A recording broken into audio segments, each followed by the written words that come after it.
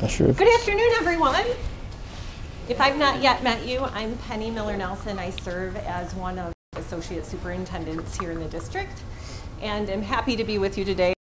As you just heard, he's going to sit over here and uh, keep his germs to himself for a bit. Uh, De'Ondre and I are really happy to be with you today to share an update about the status of our work in relation to the equity audit and the strategy overall for diversity, equity, and inclusion. Well, the next slide is my favorite. It's our vision statement. So when we get that, I'll just invite you to take a minute and read that vision statement. This has been our vision statement for a couple of years now. Thank you. I'll give you a moment to read that.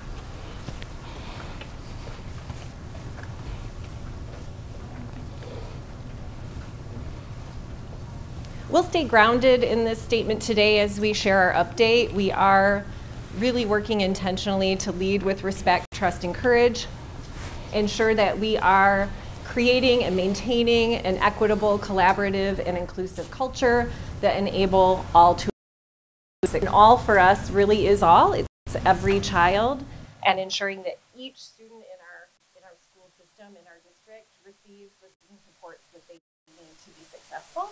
And so that is a big definition of what equity is. It's ensuring that each child has what they need to be successful. I'll remind you, uh, if you've been with us in the district since our equity audit, five domains that organize our work. You might remember that we partnered with Insight Education, a national organization that has experience in education equity audits as a 30 independent organization to lead us through that process. That process was pretty extensive. Uh, it took us uh, more than a year to unearth all of the information, the data, to conduct the focus groups and surveys, compile that resulted.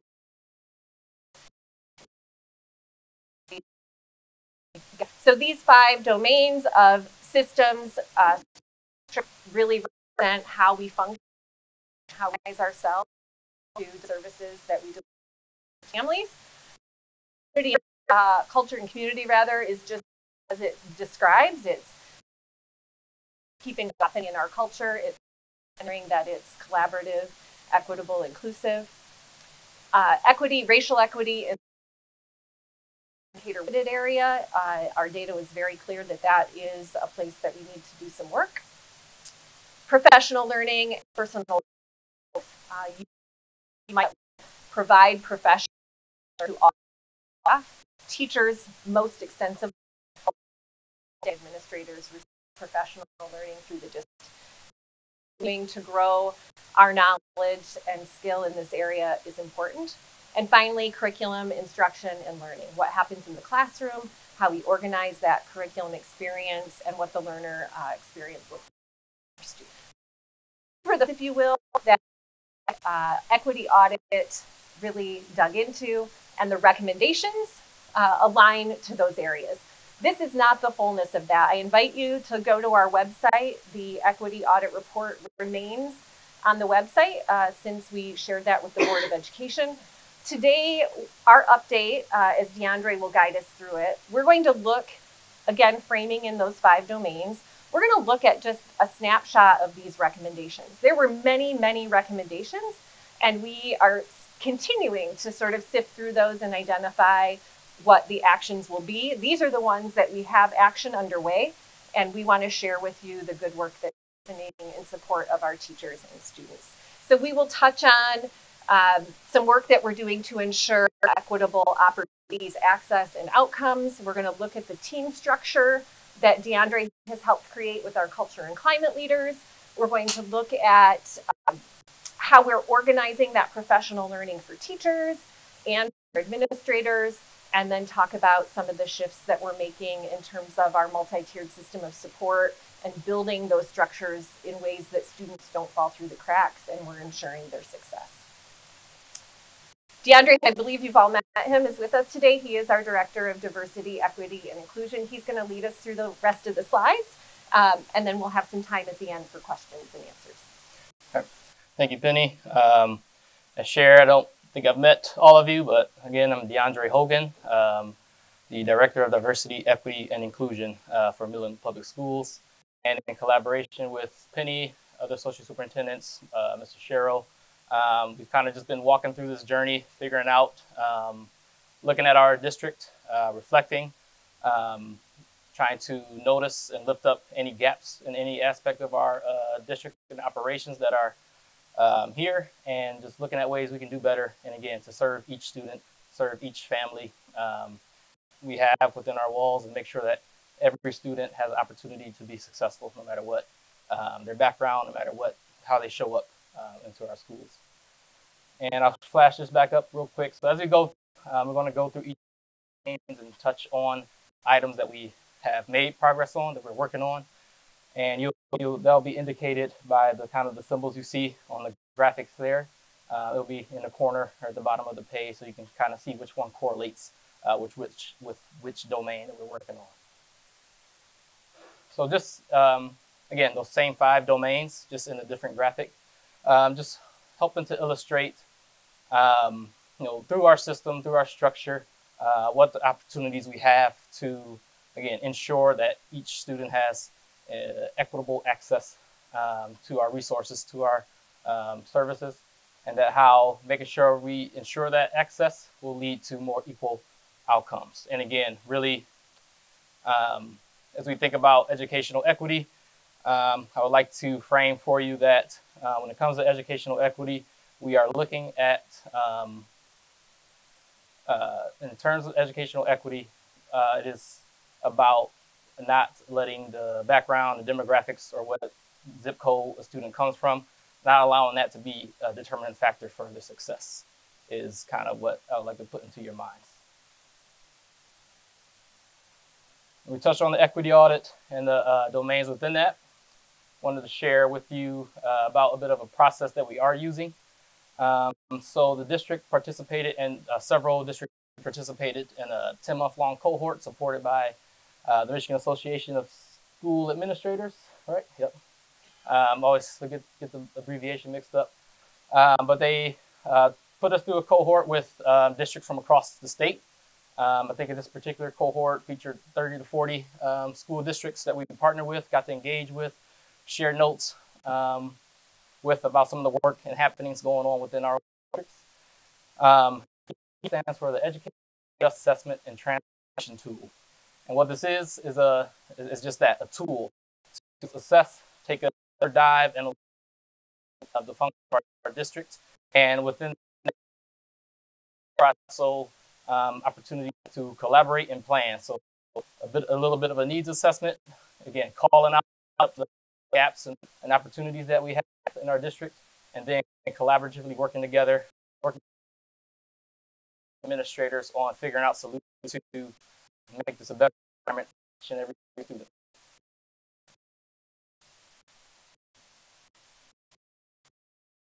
Uh, here in the uh, bottom left corner, resources, and again, this is kind of we're going, we're going to touch of the domains, uh, highlight a reputation, and then the next following slide will uh, feature work and some progress that we've made.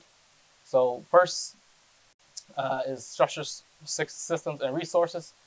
Uh, recommendation here was to develop a district equity team to serve in an advisory capacity to ensure equitable practices are enacted in the district. And what we've done with this um, so far is establish culture and climate leaders. Uh, culture and climate leaders are educators, they're teachers.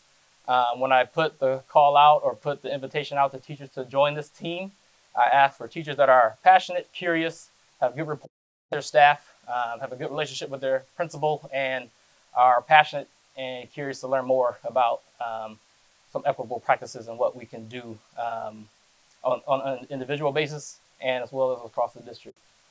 Um, so the culture and climate leaders right now, their main function is to help support our professional development, and we'll touch on that a little bit um, later. So they ensure that we have consistent um, uh, training and conversations are going on throughout the district.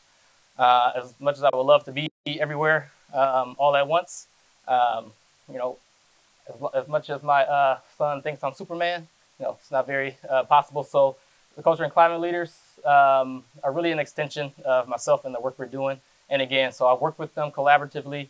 Um, we have discussions, we engage in development ourselves, and then we kind of go out and share that uh, development and some of those tools with our buildings. And so, especially on PD days, it's really showing up. They're able to facilitate and run their own uh, DEI uh, during professional development. And you see boots on the ground, that's what I really see them as, as, as a conduit between what's going on in their buildings and you know back up to me and vice versa. It's kind of a uh, some information loops going on uh, back and forth between us to make sure I maintain the pulse of what's happening and so that they kind of understand where we are in our process as, at the district level. Uh, so second domain, culture and community, uh, where we encourage to enlist the entire community to work toward establishing a uh, supportive community focused on equitable outcomes and inclusivity. And uh, I think great opportunity to kind of just highlight the efforts from our um, student body um, here, uh, mainly at the secondary, and as well as some community collaborations. So um, we, within this domain, we really um, think about the voices, right? We want to hear, listen, and lift up uh, voices that includes our students. Students have um, direction and support from educators and um, you know, staff here. They students have really been encouraged to organize and develop ways to lift up their concerns, things they're seeing, and communicate that with us in a you know uh, uniform, consistent manner. And that, uh, as you see listed, there's um, certain groups that have been established at the high schools and secondary. Um, there's even a student diversity board at um, Dow High School, which has representation from each and every culture club that is at the school. So any student group um, that is supported and functions at, at Dow High, there's representation at the student diversity board. Again, to offer that collaboration, hear what's going on, um, and opportunities for students to share with you know what their experience process, you know with, with students not necessarily interact with. So great collaborative effort um, by our staff there at Dow High. Um, and looking at our community partnerships and collaboration, uh, have a great relationship with the Midland County Inclusion Alliance, uh, especially their parent engagement committee, as you see on the Chromebooks that are um, on the kids' stickers. Um, that is a big project coming from there, and that effort, um, uh, you know, you know, has been great. And the, the, last iteration was a was came up come up with students. The whole design was came up by some of our at the at the time were fourth grade students. Um, you know, they were asked, "What is your take on um, allyship or community or inclusion?" And what we see on the Chromebooks is kind of what they had came up with. So, the ability to show some of the um, work that our students do and engage in. Um, Dow, uh, huge, huge support of the efforts. Um, they provided us with a grant for the cost of the equity audit, uh, also grants for staff development. And again, um, we have a communication with them and they help support um, and offer guidance for our efforts moving forward. Then the Midland Area Community Foundation, uh, their group that they support, the Cultural Awareness Coalition, um, group of volunteers that um, come and you know, you know raise issues and, and, and raise awareness about you know uh, differences and they engage in a lot of community interaction, a lot of volunteerism. Um, they support like Lunar New Year. If anybody attended that at uh, Dow Diamond, those are big uh, supporters of that came from Cultural Awareness Coalition. So their aim and effort is to, to bring education and awareness about the rich diversity that is here in Midland that we might not always uh, consider. And they also engage in, which I've been a part of, uh, community conversations. This is an effort to provide that support, education, and learning and reflection for our organizations in town. So our nonprofits, our um, for-profit organizations, they, I think this they're about to start their third cohort um, of engaging in these learning sessions, and we've been um, very fortunate to be a part of that. Now, still with culture and community, um, and I'll back up a little bit and I'll mention the, the EJAT. Um, that is something for a tool for us to utilize as a district, and we're ensuring that, again, we have voice, we have participation from our stakeholders, uh, mainly our teachers. So we were um, able to, like with the help of our collaboration from our culture and climate leaders, um, during our scheduled professional development, uh, we use this portion of the EJAT, which is uh, images, celebrations, and events, to um, asks our teachers to kind of analyze their learning environments. Um, it asks questions like, and it, it's an assessment or survey, and so we ask our educators to assess their learning environments. Um, because the, the point behind this portion of the EJET is to, uh, at, at the second paragraph there about that there are messages sent every day about what we value, right? So what, uh, what posters are we hanging up on the wall? What type of books do we have in our classroom library? Uh, what type of examples or um, cultures or what, what diversity is reflected within our curriculum? It asks our teachers to look at that. One, is it present? Two, is it accurate? and or, or does it rely on you know stereotypes or, or, or things like that? Is it you know harmful? And um, kind of do our does it reflect the diversity of the work uh, in that as part of the uh, we are to take those uh, share the results with me and help frame with area or vision to address you know that. And it's not just dimensional walls, but um, are all of our events accessible, like our sporting events. Uh, any stakeholder, no matter ability, are they able to access that opportunity? Are our parent-teacher conferences, are our concerts, um, accessible to everybody, no matter what their ability level is. Like, do our teachers support uh, community events or do they support school events? It kind of asks our teachers to reflect on those items. And again, with those results, we're going to collaborate and come up with some um, goals and solutions to, again, better enrich um, or better celebrate the diversity and, and enrich our stakeholders. Uh, the third domain, racial equity in the educated workforce. Um, again, we're encouraged to develop uh, talent management strategy, um, addressing recruitment, retention, and a development talent pipeline. Um, um, encourage career options and advancement through our system with the, through a lens of equity. And uh, here to highlight some of the work that's been done here. Um, after the, uh, the first time we shared the equity audit results, uh, we met with the Mu Alpha Omega, um, part of Alpha Kappa Alpha, Alpha Kappa Alpha uh, Sorority Incorporated, uh, which is the, uh, a sorority, um, a black sorority that has a chapter here in Midland. Um, and they, uh, depending on the results, they came and offered to support us in our recruitment efforts uh, to help diversify our talent pool. They're very clear. They um, know Midland is exceptional, and so their effort is to help uh, in, diversify our talent pool with accessible um, talent and um, through the connections that they have through their network. Like the sorority fraternities um, throughout the country has a vast net- network of alumni, folks that still work in school, um, you know, colleges that um, they still have connections with or are engaged with. To, they offered that network to us to help us again uh, find talent and um, traditionally have looked. And um, again, they're very clear. They're not here to help us like hire people. They're just here, look in these other places as well because there's talent and there's qualified teachers in these areas also.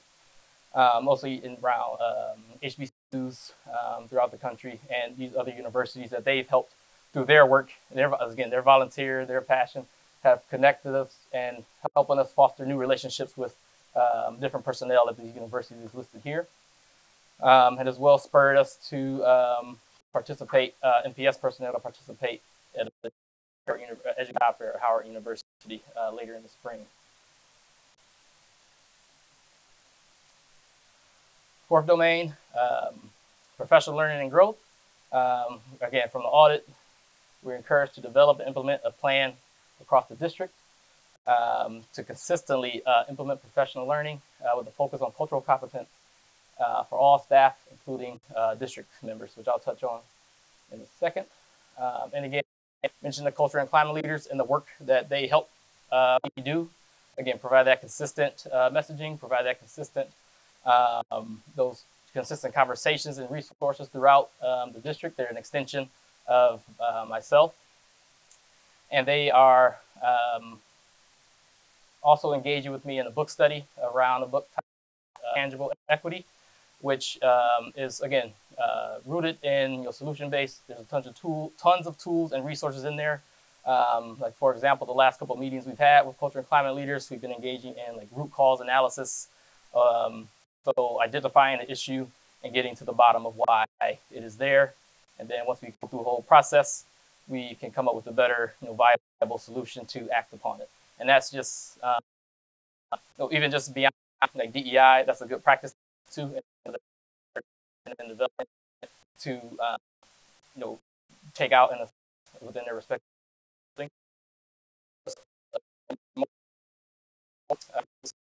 I got activities and the tools that we're uh, utilizing more. So that they come up with two ways, two reasons made it better, and kind of shifting our thinking, getting us uh, come up with some solutions, and again, so we're not running into the same issues.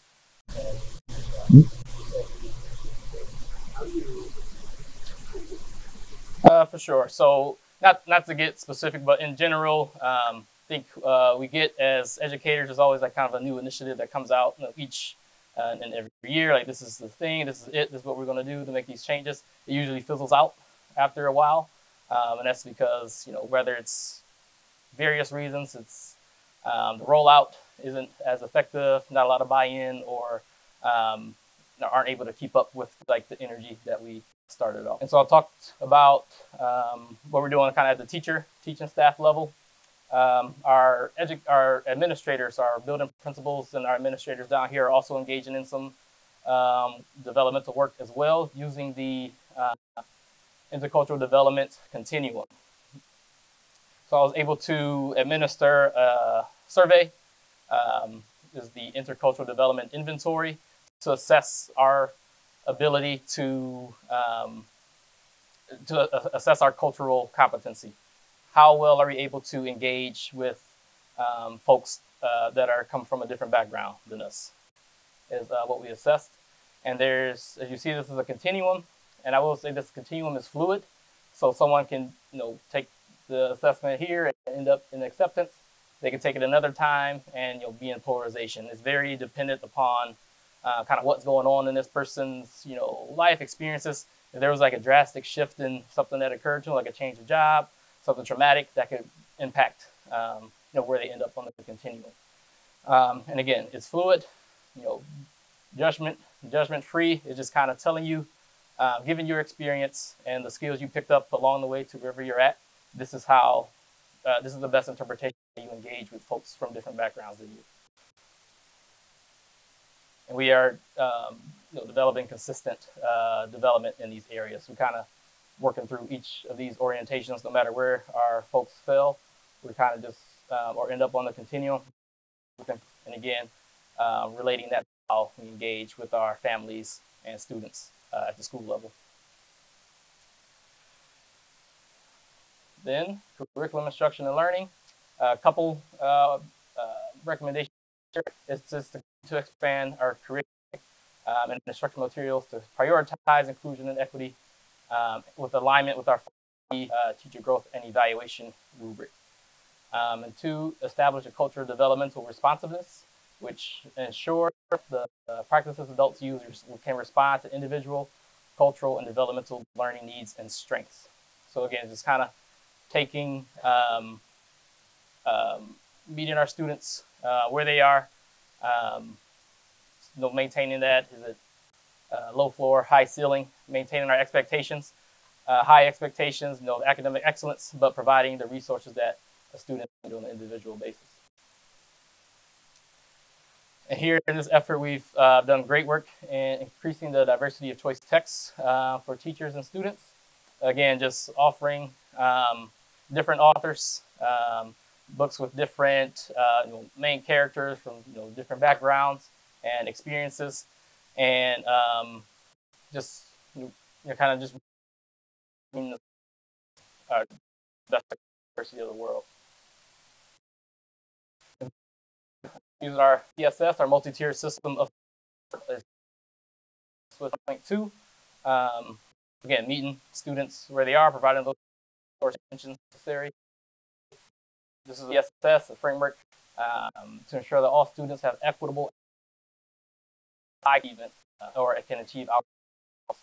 Um, and based on the individual, this is what that student comes. We are addressing that with interventions, with um, just sure again they have outcome. And there's also uh, some school success teams that um, um, colleague uh, great job establishing uh, the our building when uh, it's you know noticeable uh, folks that that student may interact with. We surround that teacher with support to come up and collaborate with, and then identify again, get to the root cause of what issues or concerns are, um, address them, and then that will lead to you know comes in the classroom. And um, something that I like to use, or you know, this passion that I, I like to use that kind of helps me uh, ground um, this work and our effort um, going ahead is DEI's conversation. I know we hear DEI, we hear diversity, equity, and inclusion, um, and we, you know, we attach it and we socialize it with other bunch of other items and things. But uh, here, I think this helps just to illustrate um, the, the purpose and the uses and the a little bit of, the, of defining what these words mean. So I'll read it aloud. Um, whereas diversity, equity, inclusion, and justice asks, diversity asks, who's in the room? Equity responds, who is trying to get in the room but can't? Whose presence in the room is under constant threat of erasure? Inclusion asks, has everyone's ideas been heard? Justice responds, whose ideas won't be taken as seriously because they aren't in the majority. Diversity asks, how many more of any marginalized group do we have this year than last? Equity responds, what conditions have we created that maintain certain groups as the perpetual majority here? Inclusion asks, is this environment safe for everyone to feel like they belong? Justice challenges, whose safety is being sacrificed and minimized to allow others to be comfortable maintaining dehumanizing views?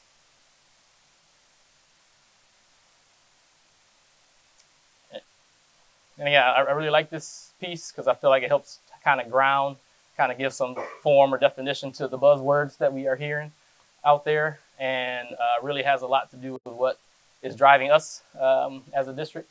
And like for anybody that is, you know, I encourage anybody that's curious in you know DEI work, um, making sure that they're not, um, you know, themselves on an individual basis upholding any um, you know, dehumanizing views, actions, or disparaging treatment of others.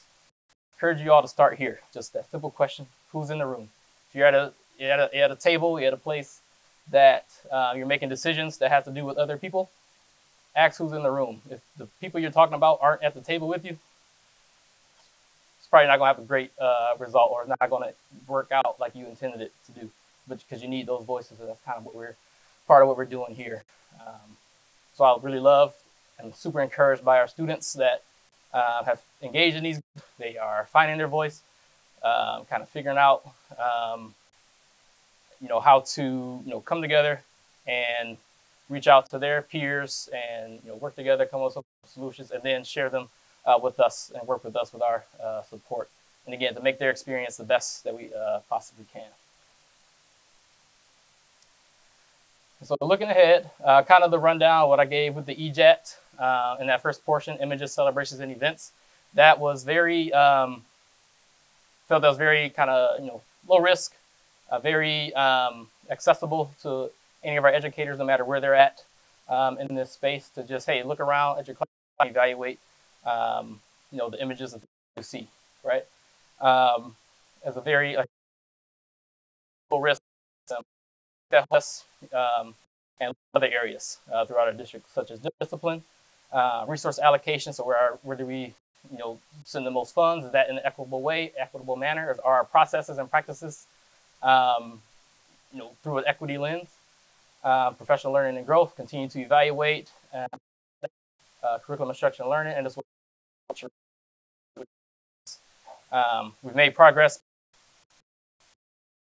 or um, in these areas. And again, all in the all in the effort to live out our MPS vision statement again, lead with respect, trust, and courage, ensuring an equitable, collaborative, and inclusive culture, enabling all to achieve success. So, thank you. And any questions now?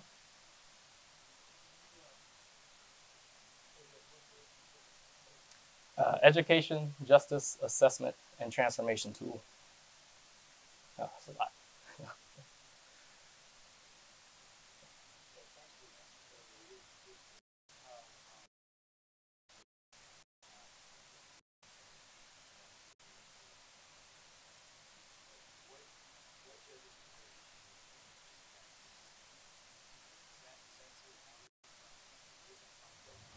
Um, I think it comes from perception. Uh, it comes from so we have metrics, and if you know certain metrics um, aren't being met, if you know with staff after they receive a training, uh, how's the implementation going? If it's not meeting those marks, then um, and I, I probably oversimplify, we'll call it a failed initiative, but um, if um, fatigue as well, like if our our educators that we're trying to you know, work with are solutions aren't being met.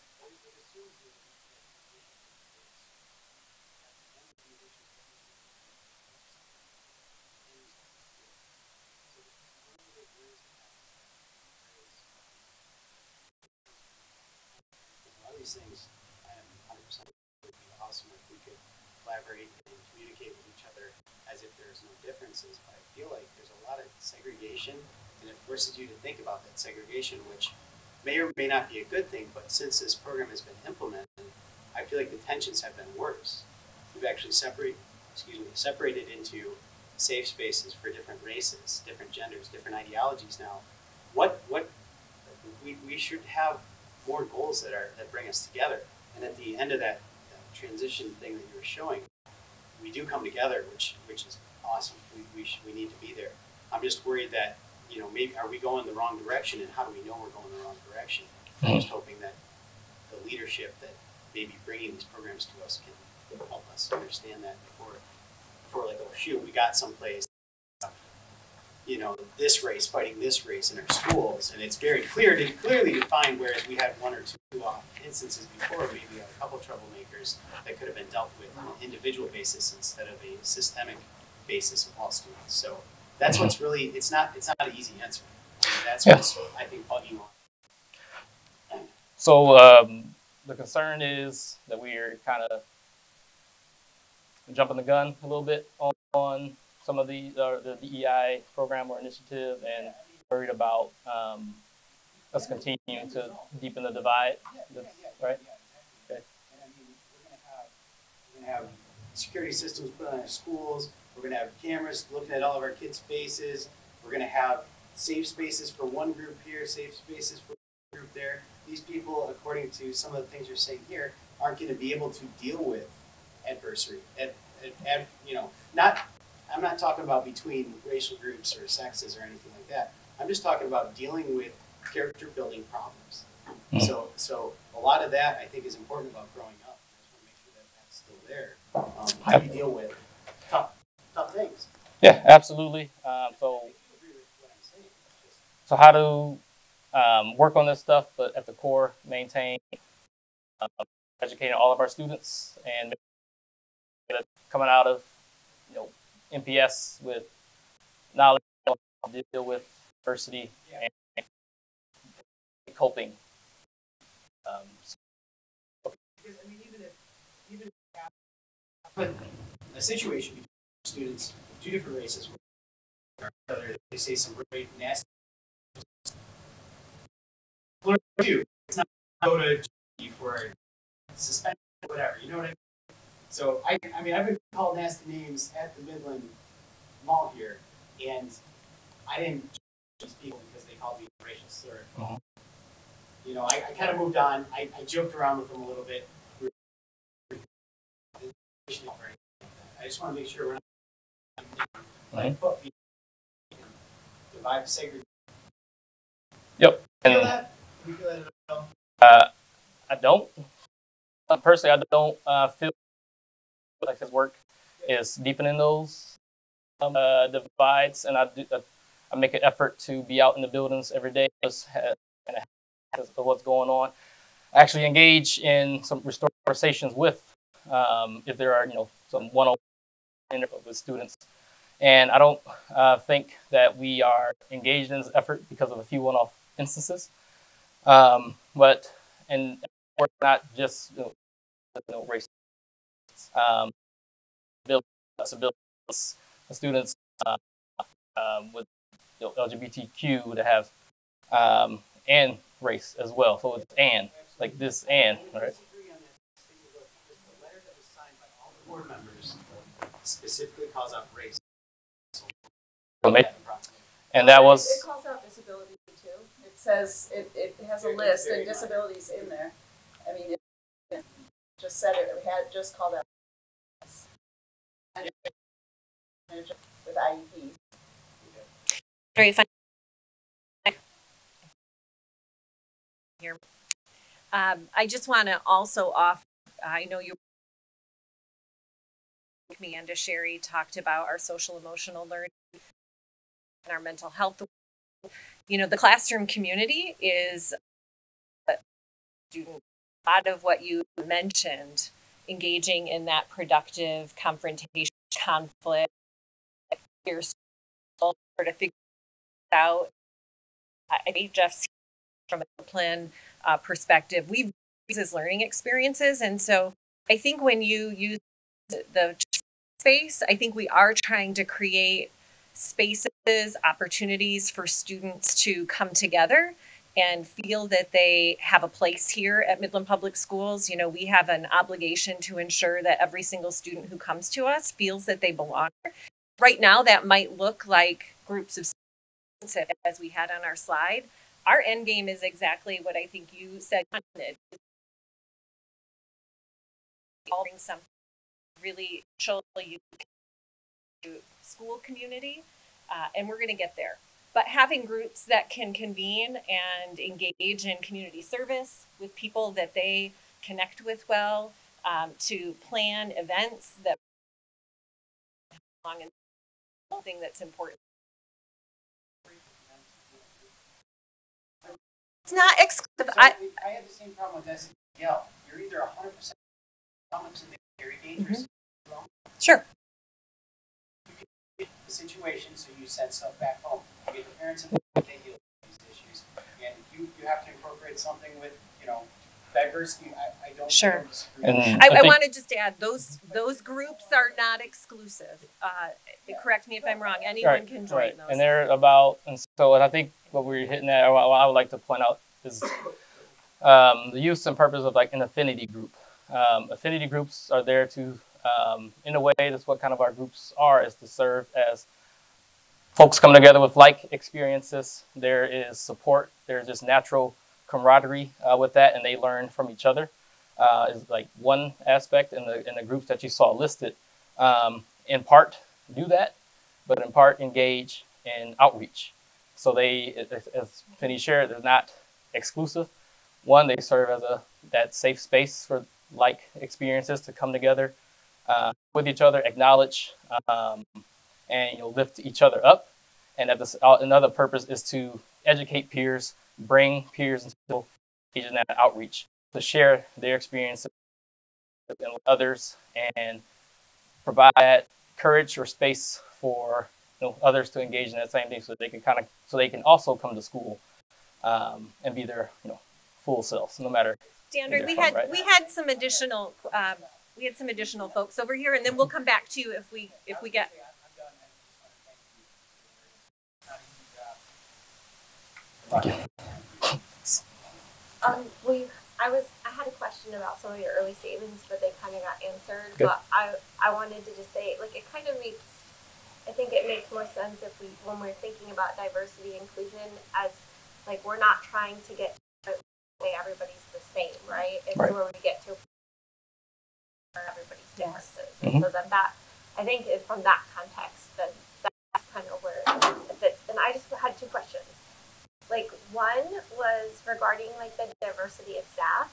Mhm. I was excited to hear you say that you're like reaching out to improve the diversity of the staff Mhm. because I think that there's um, a lot of like great benefits for all Yeah. of our students, right? To Mhm. be able to have that leadership and Yeah. see it.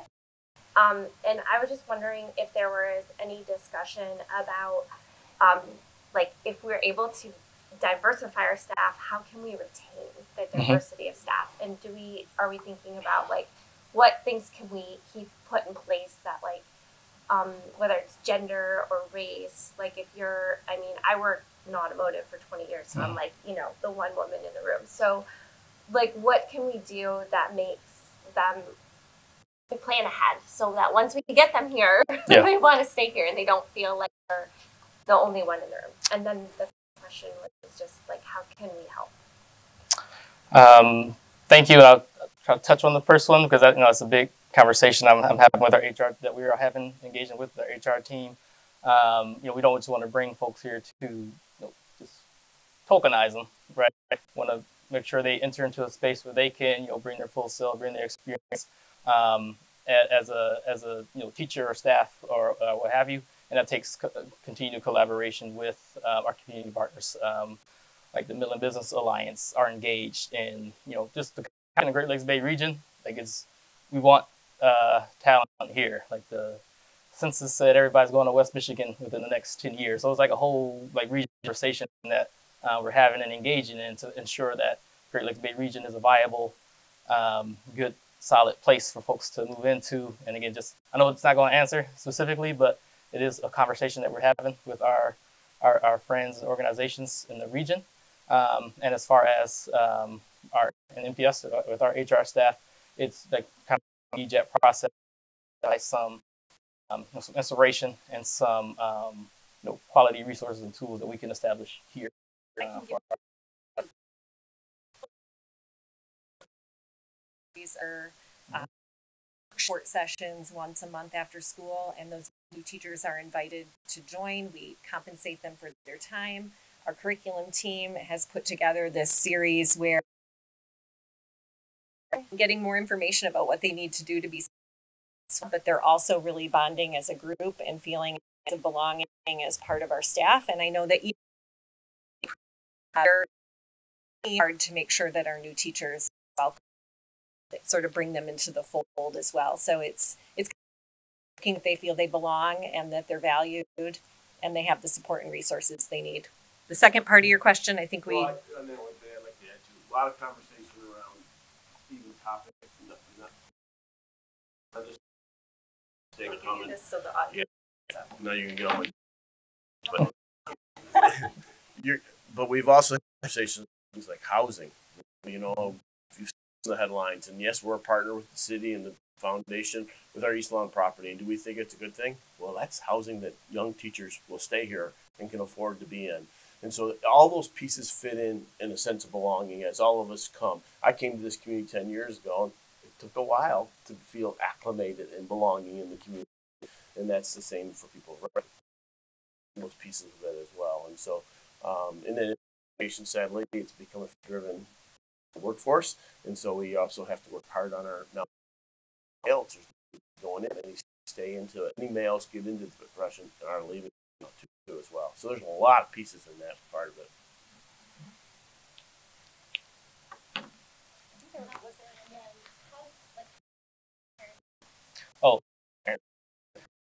um, just engaging in conversations uh, such as this. Um, I'm also as part of the strategy working on different app parent and voice so that um, I can you know, seek input. I would like from all structure like that. Um, you know, right now to provide uh, to parents to get the constant in a structured way. Um, um, you know, communication. Now, um, I have parents, you know, reaching out to me uh, when things come up. Um, that's been kind of a good way to keep loop to what's uh, going, what concerns are. Uh, but more to come um, on that for sure. But thank you for that. kind of piggybacking off of that, I heard you said coming to things like this is good. Um, me personally, I have instead of more big picture thing, which is kind of here, I have a lot of all different different ideas. Okay. So background history, I've and moved. I, I have worked in schools for my entire life. Mhm. I've been in Midland schools. I've also been in other schools that are much more diverse than Midland. How, as a member, as anything, physically have a conversation about things to enact, not just big picture, but like on the ground. For example, I was president of PTO at my former school. Some things that we enacted are a representative from each, board meeting of it for a few minutes and talk about how they were including um, diversity equity in, their buildings, like Mhm. did This is for social engineering on people. This is. Give me a break. De'Ondre. okay, you can have a turn in talking, so. That's that's that's We're gonna stay productive today, guys. You, I, you know, some of De'Ondre's presentation today about everyone having a, an inclusion here. Let's be respectful of them. please. Some of the things that we did as a PTO would talk about a large portion of students who celebrated Ramadan. And so we would talk about should we have this event that evening or should we you know, Yeah. be more inclusive and have it on a different evening. So we would report about different things like that. Um, where is an opportunity where we can talk about things of that nature or um, finding best practices from other districts that have worked, that have been inclusive people? How can we actually have those in detail discussions? Kind of uh, have that dialogue and you know share different ideas. Um, John, let me jump in just a second. So that was the, very much the concept of PIC. And so PIC's been around a long, long time in the district. And at one time it was uh, representatives from each PTO in the buildings to come to the PIC. It failed. We, we weren't getting them. We had very small audiences. And so I opened it during my time, everyone, anyone in the community. But I think the way to get that. Um, I think Many other i- ideas and stuff. Yep. Yep. And when, I think when you mention a school board meeting, um, many people have the perception of what the public school board meeting is, is. And, and we have board subcommittees where parents could meet on DEI and, and committee structures. So we use a committee structure. Public board meetings are actually just open to the public and it's the board's meeting to conduct their business that night. That's all it's supposed to be. And so if you're trying to do a, a business meeting and then also do a public engagement meeting, you're gonna have some problems on that.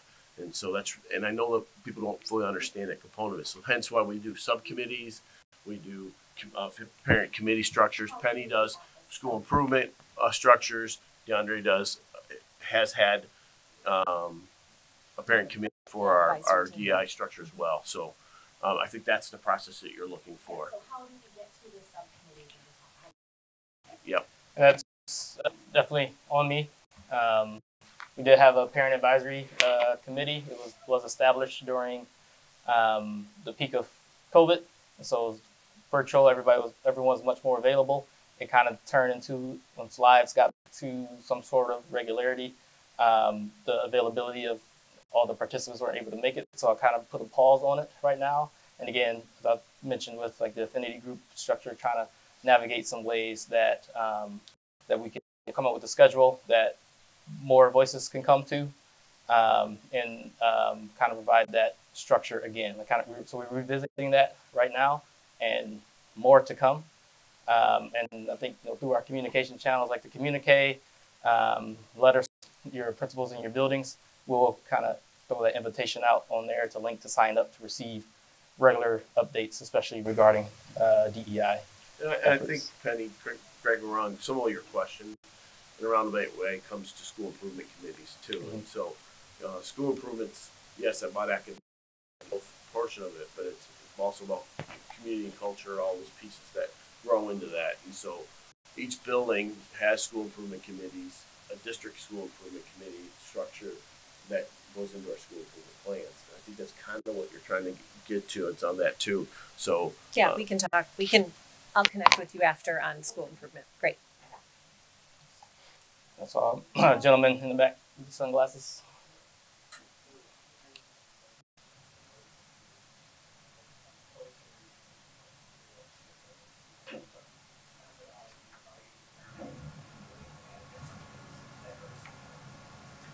Um, so throughout, great question. Um, Repeat the question for everyone here. Yep. Uh, so at, the question was, how do we determine um, what is a diverse or what um, way are we determining what are the metrics to determine um, you know, diverse images in the classroom?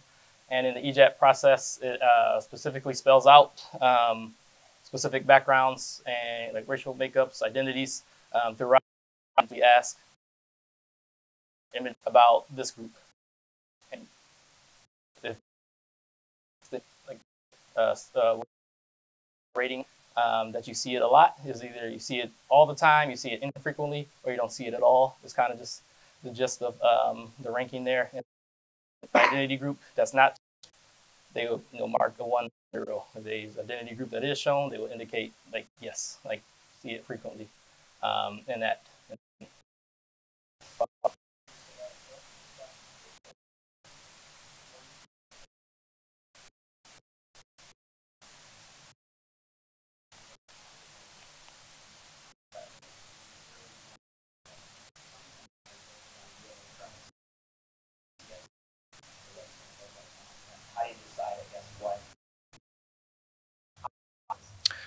Um, so decide with, with identity, um, and that is through operation. So the process already assess, um, look at results, collaborate with our teachers, allow our teachers um, what change um, in their in their buildings and in collaboration with their principals, and be to assess like, and did we see improvement from the data if not, then we're else just getting this of just reflecting, evaluating, seeing where we're at.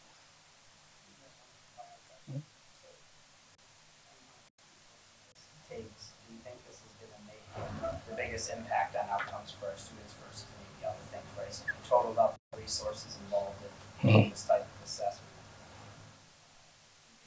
Drive, whether it's whatever it is.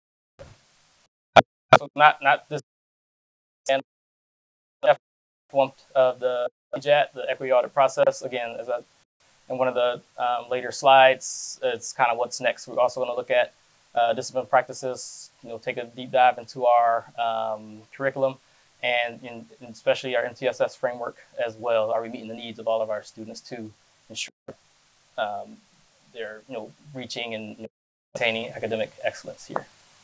Can I just to the uh, images, celebrations, events uh, category of that work is really about establishing an environment again. And there is a lot of research, Amanda as was presented at the previous PIC meeting, that until students can really feel safe and that they belong at school and in their classroom, their brain can't even be ready to learn. So while it seems maybe like a low level target for us, it is the first part of making sure our environment is safe and inclusive so that every student can be ready to learn. Today, I also just want to frame these are snapshots of pieces we're doing. There is some really intense work happening with our multi tiered system of support in identifying students who are not being successful, drilling down using data to identify academic interventions that they need in order to level up. So we're not pressing on those areas too. And feeling like all that's happening is that we're focusing on images, celebrations, and events. It's it's academic as well.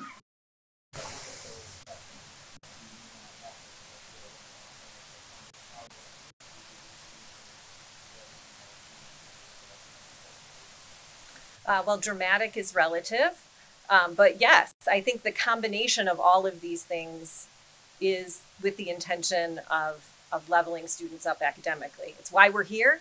All the pieces that we're putting in place of this puzzle are to support student growth, learning, and academic achievement.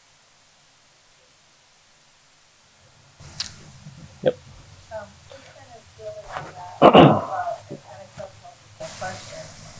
You used the phrase several times, equitable outcomes, and you just kind of used a similar phrase right there.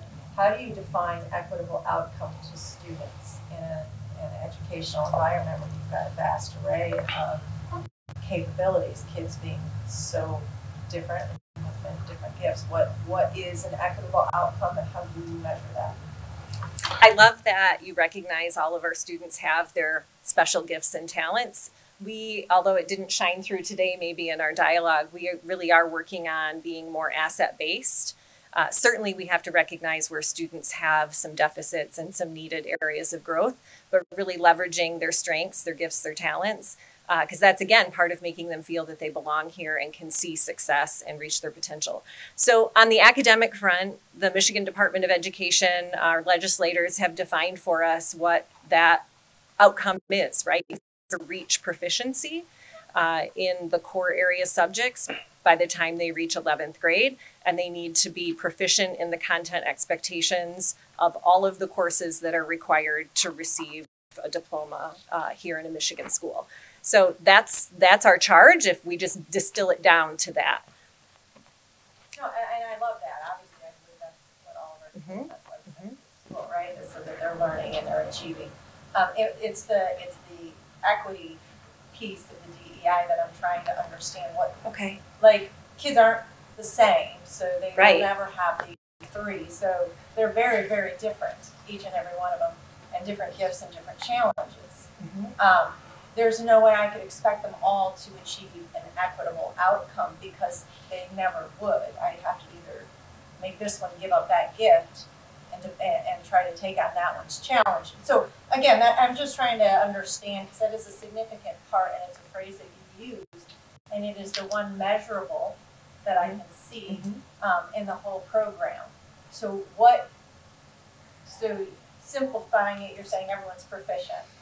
But- but As a what is baseline, I mean, phrase chime chime in, Mr. Yeah, I'm, Sharrow. yeah, But I have as a a hard baseline, time not. that- if you know my personality. So, so um, a couple things you said I really like because, and not picking, don't take me wrong. I heard earlier that PS doesn't have diversity, and I might have been the first one in a long time that because we never because we you send us so many wonderful kids who achieve so high that we never looked at our subgroups of kids who didn't achieve high. And my entire career, mine in PS was pro- predominant with um, students on the other end, end of the level, special needs, low socioeconomic status, um, rough neighborhoods, and all those component of it. And so when we looked at our years ago, and we still look at our scores, we're top, whatever top 10% performing school district, all those labels that we have. We're a high performing school district, but there's a subgroups in our in our population who do not achieve well. And I said that when I got here, and probably some people went, "My, I can't believe." And it like in the beginning, I want to say, we do really well. Send us your really high achieving kids, but if you're low achieving, we don't pay attention to them a lot. Well, I can tell you we now do, and it's looking at that data. And, and so when you talk about equity, it's growth. If every single kid is capable of growing a full academic year, now we have to do it different for every one of them, though. We need to. So if you're running an at-risk school, Central Park is, is labeled our at-risk school by the poverty level there. Um, I think it's powerful. That staff says all kids can get there. We just got to do it differently than other schools do, and we got to do it in a different way in order to get them all there. Because we all, and you said you had three that all learn differently, and that is absolutely correct. And so we have to, to me, equity means we can all come there. For some, it's going to take 14 years. For some, it could take nine years. Um, some it's going to take summer school. Some it's going to take different strategies and techniques um, into doing that. And so we're becoming a better district um, at doing that. But by the way, we have to. So when I arrived 10 years ago, we had, don't hold me the exact number, 17% would have had a label of at risk, money label, but it's a label that's often used. And today we're like at 36, 37%. And so our community changed in its diversity. Our special education population has grown. And so we have got to become a more strategic district in doing that. And so are we there? Mm-mm. Our whole state's not. You know, when you guys look at state data, and I've heard some of the negativity, you could almost pull MPS out of that. You know, our state data is middle of the pack or lower. MPS isn't middle of the pack or lower. But if we're going to be the state we want to be, we've got to get the at-risk groups performing higher. And it's easy for me to say, well, if we just fix Detroit, Flint, Benton Harbor, and no, we'd be a better state. We, but make sure you understand that it's also rural, northern Michigan, and it's also pockets in Midland that we have the exact same problem going on that you would in an inner city or a rural area. And those are tough conversations to have. Um, and I don't back away from tough conversations. So we've pushed and we've pushed, and I have my flaws, but that's one I keep pushing on and will for the remaining months that I have left working. But we've made great gains. So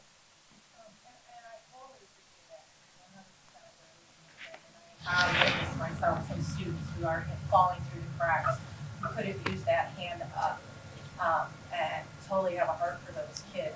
My question is, how does the DEI, you're assuming the DEI framework lifts those kids up that are, the metric that just, that's just the proficiency for the at-risk kids is the metric to say that DEI is successful in its implementation. And, and that's what I'm trying to get. What are we? Yeah. What No. are we, how do we know or understand our success? And if it's specifically targeting at-risk and lifting kids at risk, like, everything we can do to lift kids up, totally on board with that. How do we know that this focus uh, is doing what needs to happen to lift those kids? How do we know that that's a success? Uh, Again, defining Yeah. success, defining equitable outcome, how do we measure that, I guess? So, in a quick conversation, I would say you would have to combine MTSS. And if you missed that one, please go back and watch Amanda explain it the best she could on that because it all goes hand in hand if we're going to get there. Um, and how we, how do we measure that? We have more measurements than people would like, more than we would like anywhere. And and and honestly, we could break data. We have tools today that can break data in 100 million ways. And so we will measure student growth each year, student growth when they leave us by and then by subgroups across the and we all get caught up in subgroups.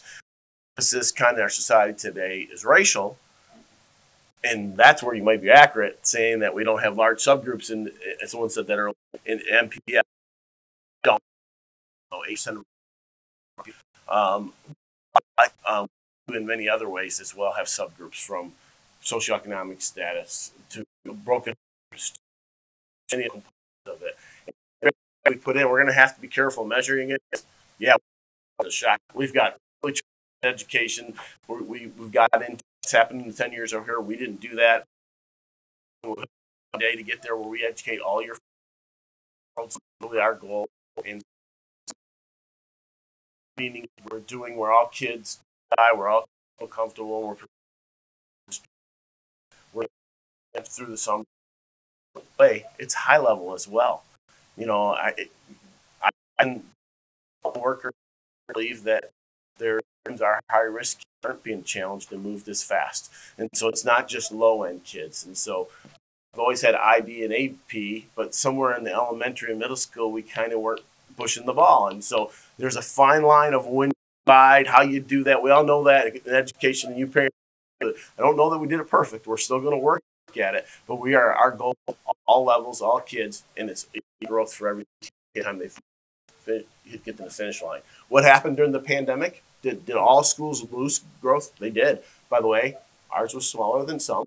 We were in school more often than another. We, we fought it well, I believe. Um, did we lose gains? Absolutely, we did. And so, hence, we were growing our summer school. By the way, it's the finish line. We hope to catch up with measure. And some of you now give you a assessment data measure three times a year on that growth, academic growth. So Could we pause since it's Yeah. after one and folks who need to be on their way feel welcome to go? and we'll shut the tape off and we'll stay and talk all Yeah. you want. Yeah. Thanks for being here. If you're leaving, we appreciate your time.